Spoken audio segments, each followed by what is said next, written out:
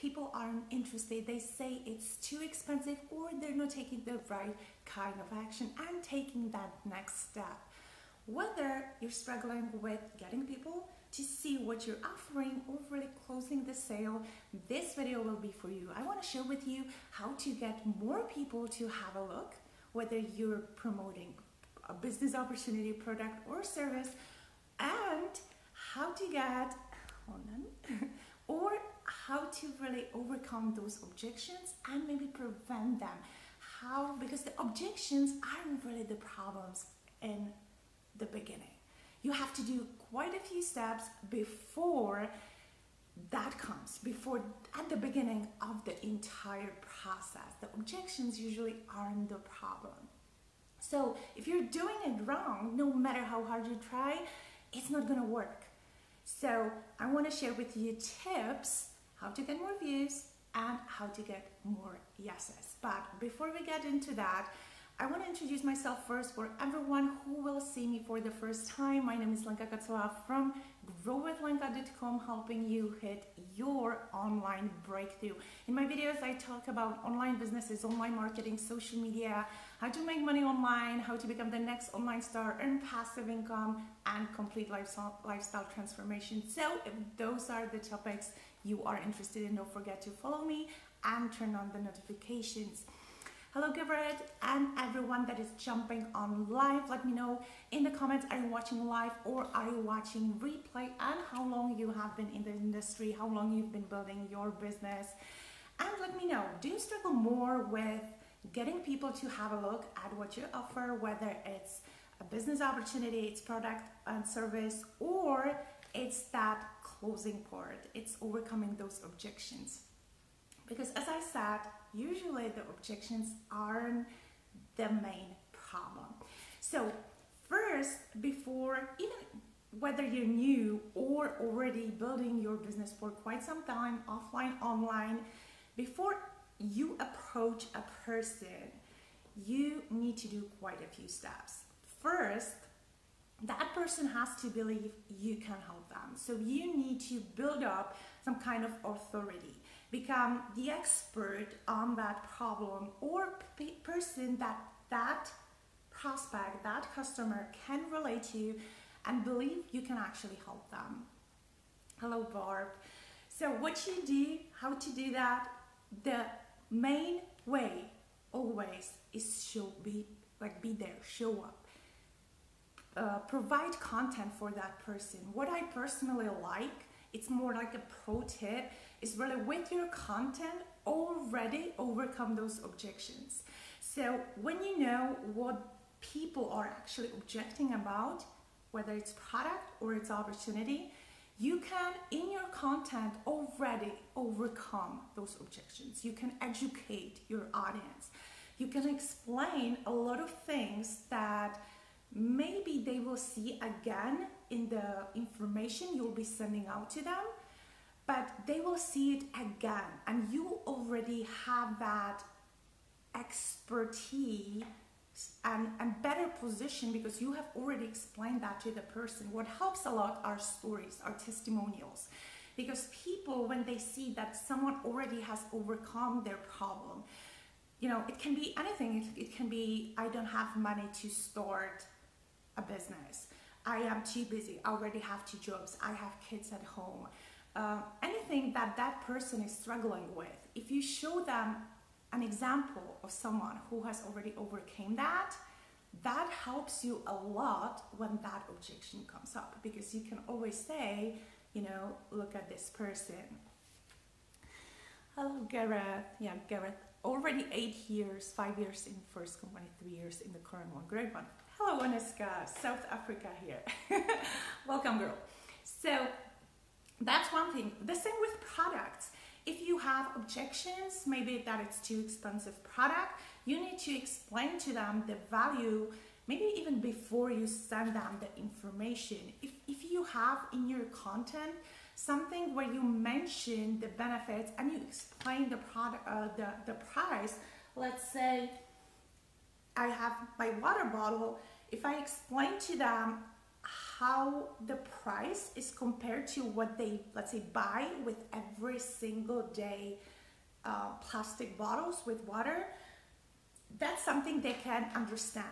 So, you know, when I, when this filters, this actually is bought with a filter and then you change only the filter. It's for any source of water, tap water, or any source actually even outside you can just filter it and 99.9% of nasties are, are out. So, you know, when people ask about the price and they don't understand why it costs, the amount that it costs, what I can do is I can tell them that this filters 455 bottles, which is this and that amount based on the country where they live in.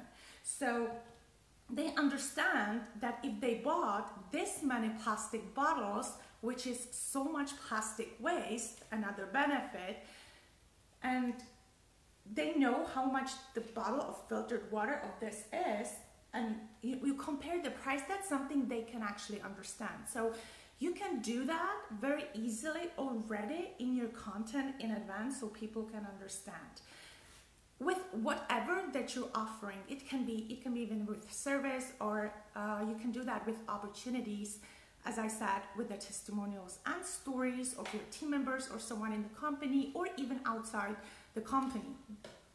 Hello kelsey. So that's one thing you know uh, showing up every single day with valuable content.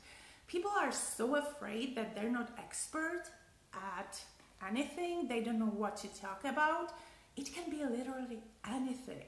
It doesn't always have to be something that you're offering. You know, we have quite wide range of products, so I can talk to hairdressers and well, wellness and fitness people and you know weight loss and digital nomads, people who want to travel.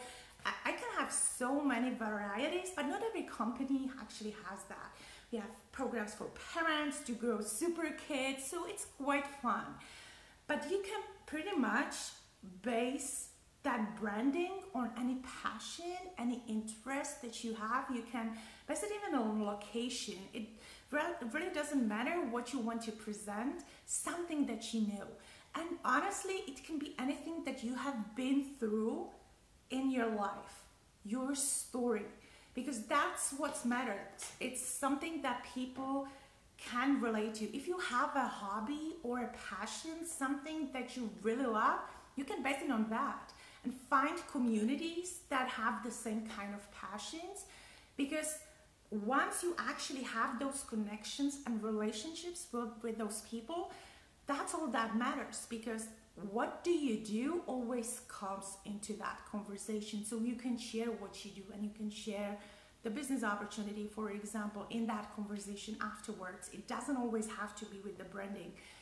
The reason why i do social media and online marketing and affiliate and network marketing content is because that's my niche that's my expertise and i, I have uh, been in online marketing since 2008 so this is something that I'm extremely passionate about, and that's why I can talk about it all the time in any piece of content that I do. So that's my passion. It doesn't mean that once you enter this home-based business world, that's what you have to talk about. Not at all. You have you can do whatever you want as long as it's comfortable for you and you want to hang around people that will be actually attracted to that kind of information. So I wouldn't really worry much about that in the beginning, especially because the, this is a learning process. It's never, I'll, I'll enter and, and I'll be perfect. You will always learn. So, you know, once you learn the process, you try a few things, you can share your experience, how it went, what went wrong, what went well.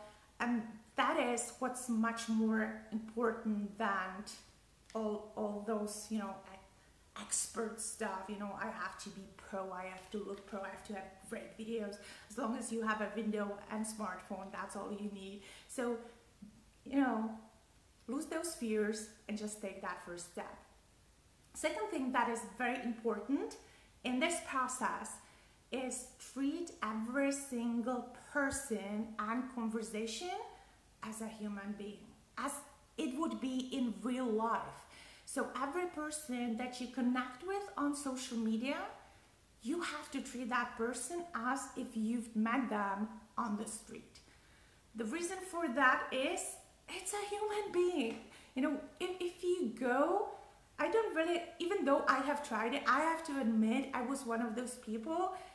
When you pitch strain and go for nose, it maybe worked a few years ago, but it no longer works, works because so many people are doing this today that everyone's tired of it and it just doesn't feel right. Copy and paste messages, that doesn't work for a long time.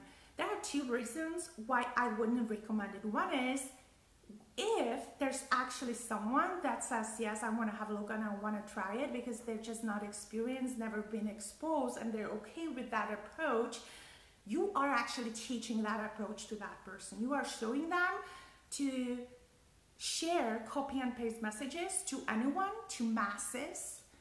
And if they have been approached that way, that's exactly what they feel they should be doing.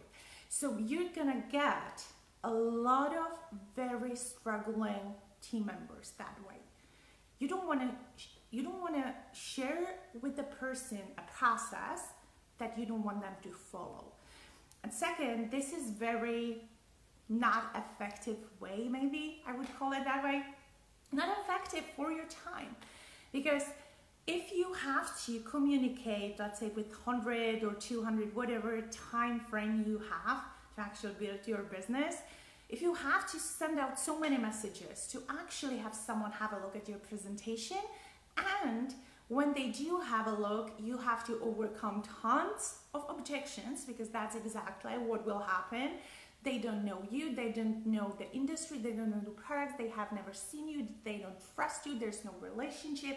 So you have to overcome so many worries and fears from that person, which will come in a form of objections, that it's going to be so much time spent to actually get some kind of sale and traction and movement going. So you want to be more effective and the only way to do that is really focus rather on smaller amount of people that already know you, that trust you, they know what you're doing, they've been following for quite some time.